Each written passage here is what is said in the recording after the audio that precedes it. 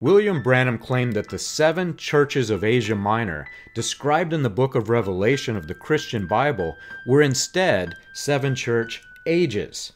He claimed that the Thyatirean church age lasted from AD 606 to AD 1520, and that the messenger for this age was St. Columba. St. Columba was alive 521 to 597 and he was not alive during the period of time that Branham assigned to the age.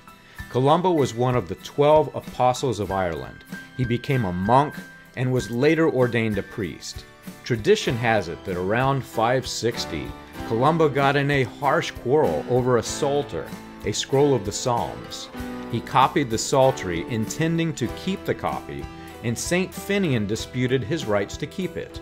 This eventually led to the Battle of Cul Dreimhne, 561 AD, during which time many men lost their lives.